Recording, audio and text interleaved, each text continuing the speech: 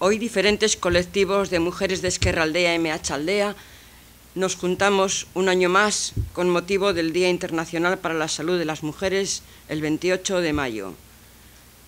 El aumento de la conciencia de las mujeres sobre la importancia de la prevención en los servicios de atención, el uso de anticonceptivos, la preocupación por el cáncer ginecológico y todas las recomendaciones de los organismos internacionales y especialistas sobre las revisiones periódicas han supuesto en los últimos años una mayor demanda de asistencia en la sanidad pública que no se ha correspondido por parte de Osakidecha con los recursos humanos y materiales necesarios. En Osakidecha no existen las revisiones ginecológicas periódicas en pacientes asintomáticas. Esta decisión nos hace sentir una honda y grave preocupación por la salud de las mujeres, más aún en estos tiempos en los que avanzan los recortes sociales, sobre todo en sanidad.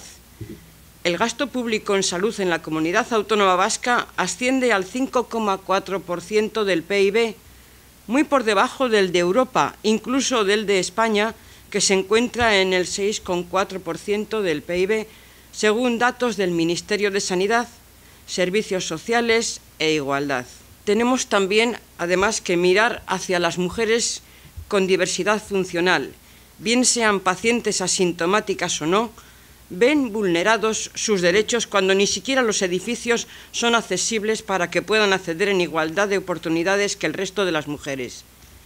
No hablemos de la falta de adaptaciones en las consultas, en el mobiliario y en los equipamientos para la realización de las exploraciones. Es necesario que la atención sanitaria, sobre todo la pública, tenga en cuenta las necesidades específicas de las mujeres con discapacidad física y, u orgánica para adaptar el servicio y que éste sea disfrutado en igualdad de oportunidades por el general de las mujeres. Nuevamente vamos a ser las mujeres con menos recursos económicos las más desfavorecidas. La eliminación de las revisiones y tratamientos ginecológicos deriva hacia la medicina privada a un buen número de mujeres que no se resigna a someterse a una revisión periódica en la sanidad pública. Por todo lo expuesto, lo que decimos, lo que venimos diciendo tantos años, exigimos revisiones ginecológicas preventivas, periódicas y completas, acceso a la anticoncepción e interrupción voluntaria del embarazo libre y gratuitamente, servicios adaptados y accesibles con personal formado para atender en condiciones de calidad a las mujeres con diversidad funcional. Información, educación y formación feminista sobre sexualidad, menopausia, relaciones afectivos sexuales, salud sexual y reproductiva, etc. Y formación feminista para profesionales que atiendan a niñas, adolescentes y mujeres. Ba, honetarako, ba, prentzaurreko honen bitartez, maiatzaren hogeita zazpian eh, egingo den kontzentrara deitu nahi dugu.